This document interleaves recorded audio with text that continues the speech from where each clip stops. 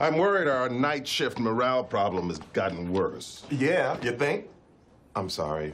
I'm exhausted. My wife says when I get tired, I get night sassy. Night sassy. Hearing problems much? Sorry. Should I just go tell everyone to buck up and do their jobs? No, the squad's only on night shift because they came down to Florida to save Jake and me. It's my responsibility to fix this. I'm going to brighten the mood by telling a few jokes. Try this one on for size. I don't care for cheese. I'm a curd mudgeon.